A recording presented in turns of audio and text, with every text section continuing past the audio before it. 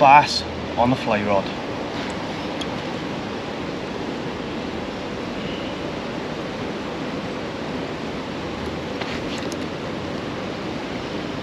Uh, Apps worm pattern under the sight indicator.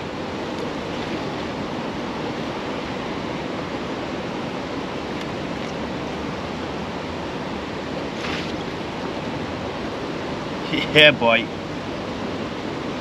I think this one's been hit by something.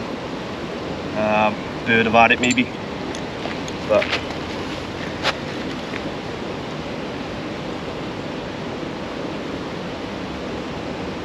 Let's get him back. Just got a quick uh, hour or two spare while the kids are in school. So I thought I'd come out and have a go with the mullet. Uh, just talk through my setup quick. Uh, it's an Airflow Delta Classic, 10 foot, rated 6 to 7 weight. Um, bought this Airflow reel with an 8 weight line on it. Um, come as a full setup with another rod, but somehow I've managed to lose a section of the rod. So this is an old rod, so although it's not rated to 8 weight, um, cast it perfect.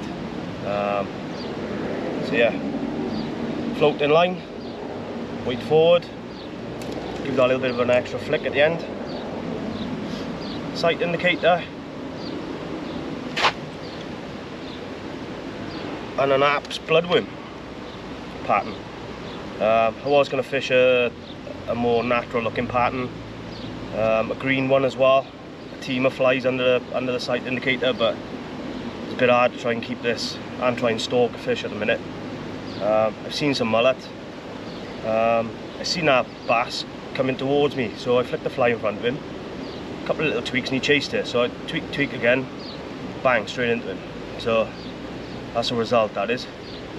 Um, albeit, looks like he's had a little uh, bit of damage underneath him by a bird or an otter or something, but um, we're losing the water quite quick now because the tide is fairly small, so chuffed I've got that fish. So I'm going to try and stalk a mullet now.